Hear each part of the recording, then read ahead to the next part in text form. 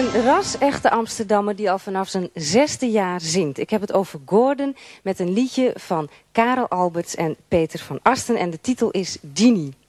Vorig jaar november zat Gordon in de finale van Veronica Sterrenjacht. Maar hij zegt, meedoen aan dit songfestival is een jongensdroom die in vervulling gaat. Want vroeger zat hij al met de hele familie verwoed punten te geven bij alle songfestivals. En hij vertelde me ook dat als hij dan zat te kijken, dan dacht hij van nou, daar zou ik nou graag eens een keertje willen staan. En dan bedoelde hij deze plek, dus de plek van de presentatie. Dus wie weet kunnen we het volgend jaar gewoon omkeren de rollen. Nou ja, hoewel, ik weet niet of ik u dat wel uh, mag aandoen, want mijn zingen is niet zo heel erg best.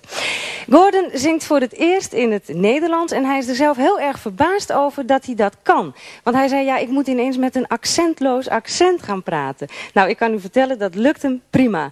Mag ik u applaus voor Gordon met.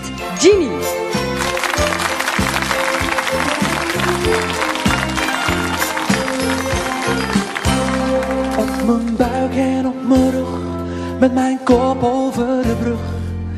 Genie, ik hou van jou. Met gevaar voor eigen leven heb ik op de brug geschreven. Genie, ik hou van jou. En ik zeg het je bij deze, straks staat overal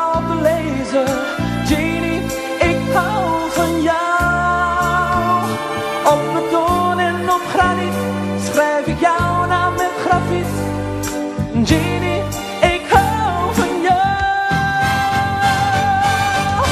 Genie, je t'aime. Genie, wat bist du? Oh Genie, I love you. Wat is dat een mooi verhaal.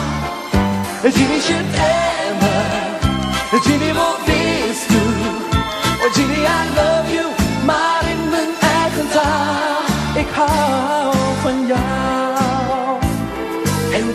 wereld moet maar weten dat ik jou niet kan vergeten.